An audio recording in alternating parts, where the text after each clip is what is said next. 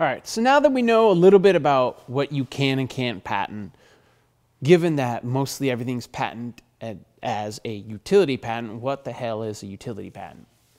Okay, this is an invention of a new or useful process, machine, manufacture, or composition of matter, right? Or a new or useful improvement thereof. So again, an improvement patent will fall under a utility patent. That's why like mostly everything is a utility patent that exists. So it has to do primarily with how an item functions or how a patented idea will function in an item. An item is abstract. Item, like what's, how do you itemize software? Uh, because it doesn't, it's not something you can hold necessarily or how can you itemize a, a process any, anymore because processes are, are more abstract um, than, they, than they used to be.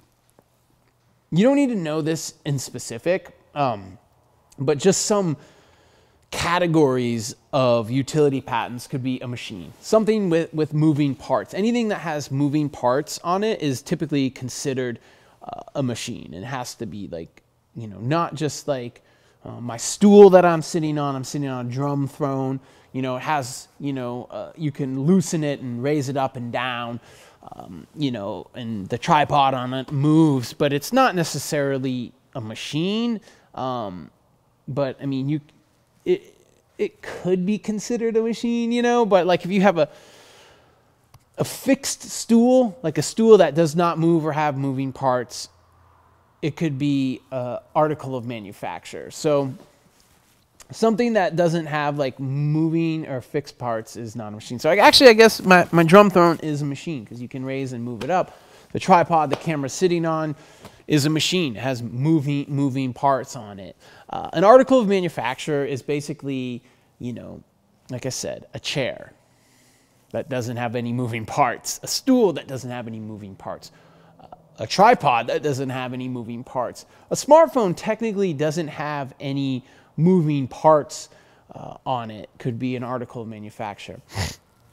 Composition of matter. So if you invent something like flubber that you can put on your sneakers and you can jump up to the, the rafters, uh, you know, any, any comp composition of matter, combining, you know, chemicals to do things, again, they have to do something, um, can be patentable uh, method or processes, these are typically considered a means to an end. So a process tends to be, you'll find this in manufacturing, manufacturing processes, um, except for software is always a process is always a process. But in the the realm of the physical processes tend to be in like a manufacturing process. How do you make something?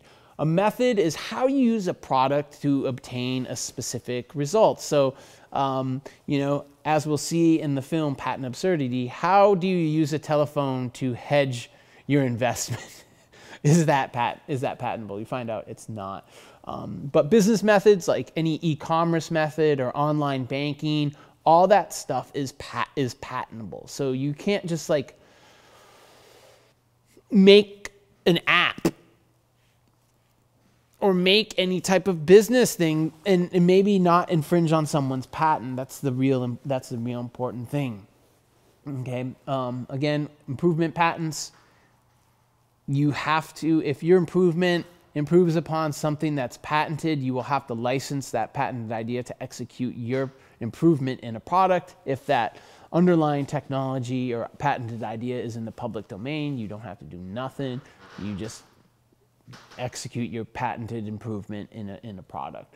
These last for 20 years. You get 20 years and then those things expire.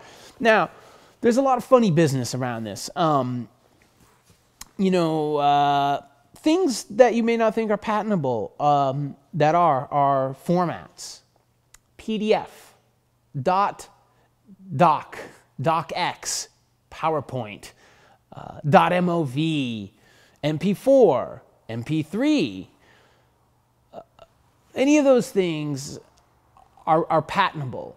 Those are processes for compressing information. So compression formats and algorithms. Those, a lot of those are basic algorithms that do a specific that do a specific thing. Um, so they're applied uniquely, which are patentable. Uh, so some funny businesses like, you know, when um, Apple's patent for QuickTime was about to expire, they came out with like QuickTime Plus. So they just tweaked the algorithm, the compression method a little bit differently and filed for a patent on it to keep, keep their monopoly. Okay, so what is a freaking design patent? As I said, it's the ornamental, ornamental design on an, an object that has use. This tends to be uh, on items that are, you know, uh, articles of manufacture, so solid items.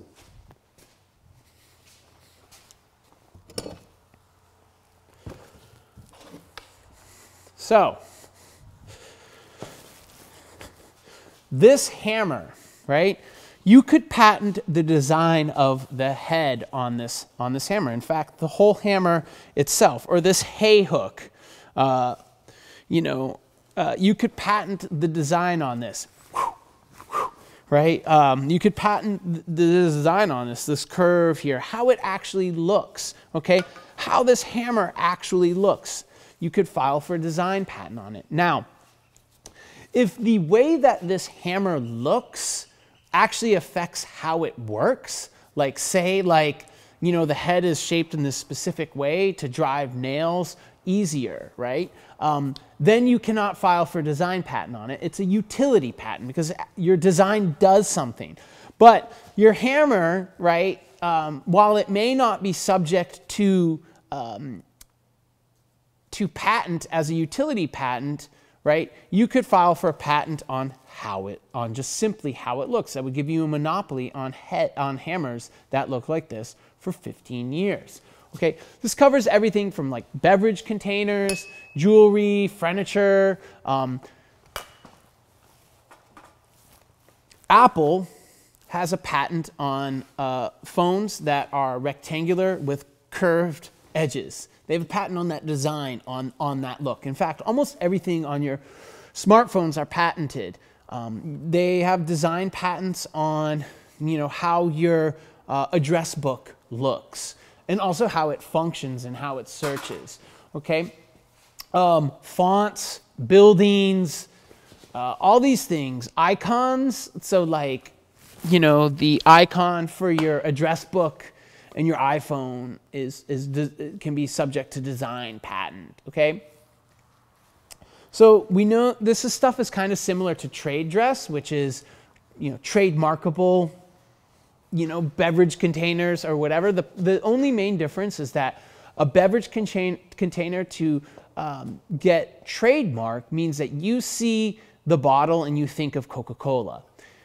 You think of the brand that produces them. You see this hammer, right? You don't have to think of nothing else. It's just how it looks is subject to design patent. You don't have, it doesn't have to have any secondary meaning. You just see it and it's a hammer and it hammers, but this is how it looks and no one can make a hammer like this. No one can make a hay hook that looks like this. But if they see this hay hook and they're like, oh yeah, that's, that's uh, Andre's hay hooks, you know, then, then that would be, you know, a trade dress, which is, which is trademark. But you don't need that for uh, design patents. They just, it's just how objects look, okay? Okay, so again, like I said, if this hammer has actual, not actual function, but like if this head, um, you know, is a is essentially new in innovation that does something different, like its design has utility value to it, like specifically, um, that's something new and patentable, uh, your design patent will be invalidated. So again, it's just how it looks, okay? the way that you would infringe on my design patent is you make a hammer that's substantially similar. It looks very similar to this. I think I'm gonna do every one of these lectures with my old school hammer and hay hook because it's pretty freaking cool. Um, anyways, does that kind of make sense? It used to only last 14 years, uh, so uh, but it's 15 years duration. Things like the Statue of Liberty used to be, um, you know, subject to uh, design patent. So like people couldn't make uh, you know little tchotchkes and things with, with Lady Liberty on it. Like I said, the iPhone's round corners and how the iPhone actually looks uh, is, is a subject to design patent. How um, the softwares look, within within them or the functions look, the icons for the functions, how the, the icon for the note, the note, the notebook or the calculator, those are subject to design patent, and then how the actual calculator looks could be subject to design patent. Um, yeah, like I said, guitar bodies, uh, watch designs, Crocs, you know, are subject to design patent. So how they look are, are design patent. The Coca-Cola bottle that we saw is subject to uh, trade dress, that's trademark. At first, it was subject to uh, a, pat, a, design patent, but you know what happens with design patent? That shit expires after 15 years.